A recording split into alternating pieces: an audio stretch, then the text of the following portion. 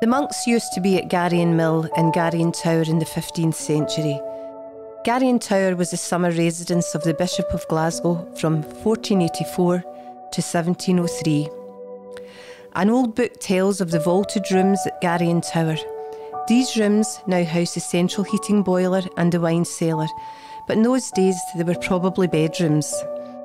After the Bishop of Glasgow, the next owner that I know of is Mr. Scott of the distillery in Wishaw.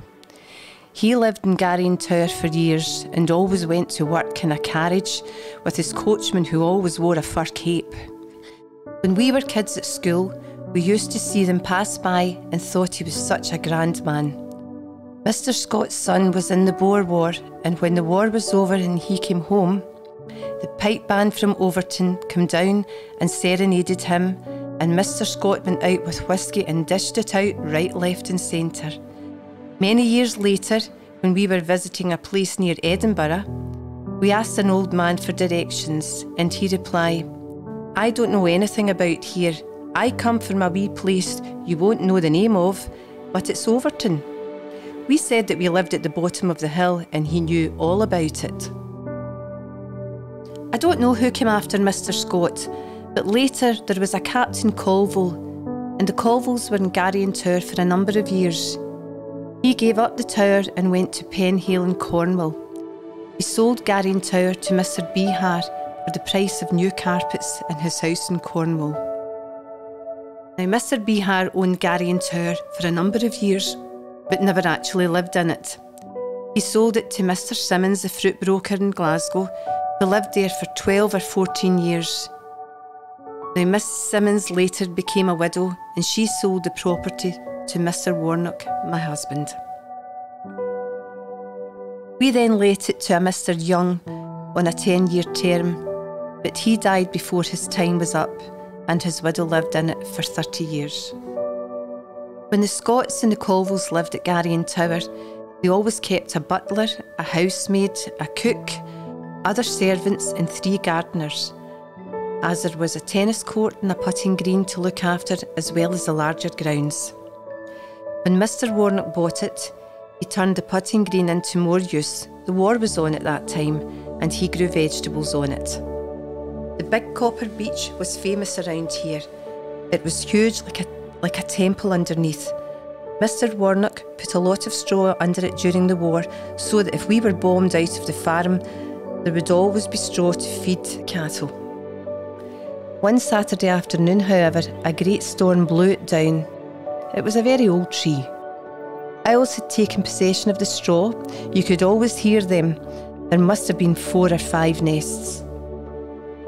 When I was young, I remember the water pit down at the bottom as you come up straight across from the Garrion Tower, over on the left hand side at the junction where the road goes to Carluke by the entrance to Cambusnethan House. As a young lassie, I used to take my plants down to the engine room as it was nice and warm in the winter time. Also, there was a pit up the hill towards Overton. When I was young, I went down the pit and saw the ponies. They brought the ponies up when the miners were on holiday and put them in the field by our cows. The miners all lived in nice houses in Overton with lovely gardens. They were very industrious. They had a grosset fair in Overton. In the farms and orchards, several Lithuanians worked. I remember one of our women telling a Lithuanian woman how to make a dumpling. She made it in a kettle and it was so swollen she couldn't get it cut. On our farm, we grew strawberries and vegetables for consumption in Glasgow in the local shops. It was extra good, so they were all clamouring for it. The strawberries, currants, and gooseberries went to the jam works at Law and to Scott at Carluke. On a Monday morning, I have seen three long loads go out one after another to the Glasgow markets at five o'clock in the morning. There was no fruit or vegetable market at Wishaw, but there was a cattle market. Before growing fruit, we had a herd of tuberculin tested cattle. We were one of the first tuberculin tested, but mostly we carried out both sides of the business. From December onwards, we took on people to grow tomato plants. This was an industry, and we supplied a tremendous number of growers with tomato plants to plant for themselves when they were starting their spring crop. They always bought their tomato plants from us.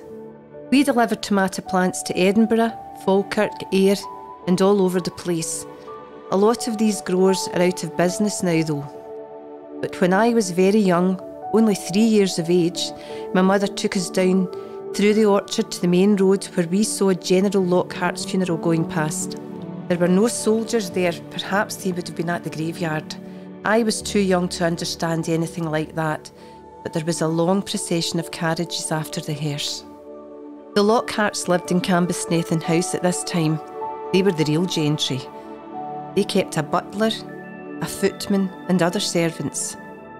They were the only ones I remember being the real gentry, except Lord and Lady Newlands at Mauldslie Castle.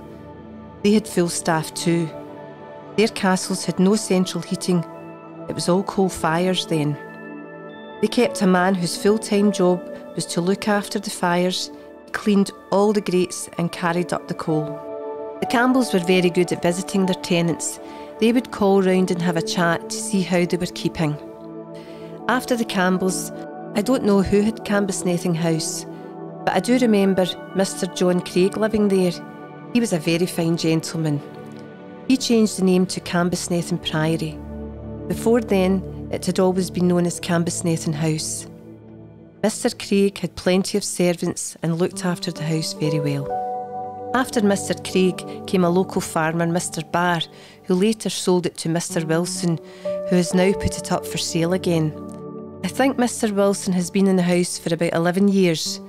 Mr. Barr took away a lot of the lovely trees that surrounded Cambusnethan House. There was also a gardener's cottage near the house, but that's now been knocked down. My father used to tell us when we were young that there was any amount of salmon in the banks of the Clyde, and you could always catch them coming up the river. Some of the farming folks were having salmon for every meal. It was such a cheap food then, and there was plenty of it. That was when the river was clean, before all the work started, and they put their muck into it. It's just been lovely to reminisce about all the lovely memories of Garrion Tower.